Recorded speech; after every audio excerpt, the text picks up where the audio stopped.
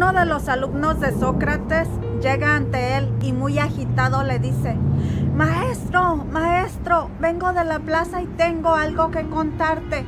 Escuché a un aldeano hablando muy mal de tu amigo. Calma, calma, le responde Sócrates.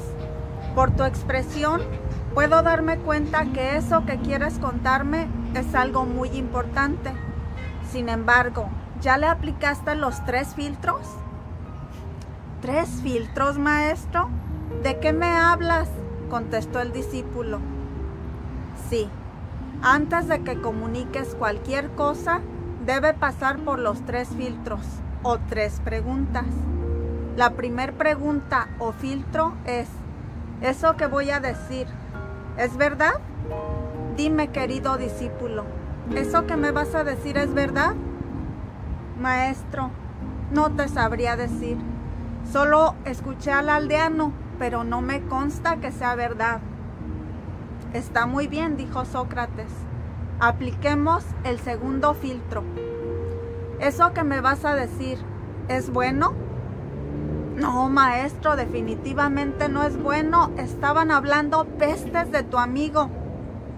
Está muy bien. Entonces, apliquemos el último filtro.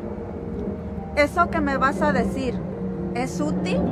¿Tendrá alguna utilidad para mí o para la humanidad? A decir verdad, no, maestro. Yo creo que es solo un chisme. Entonces, si lo que me vas a decir no te consta que sea verdad, no es bueno y no tiene ninguna utilidad, ¿para qué querría yo saberlo? Que tengas muy buen día, mi querido discípulo. Mi querida familia de YouTube, yo creo que este filósofo Sócrates era en verdad muy sabio.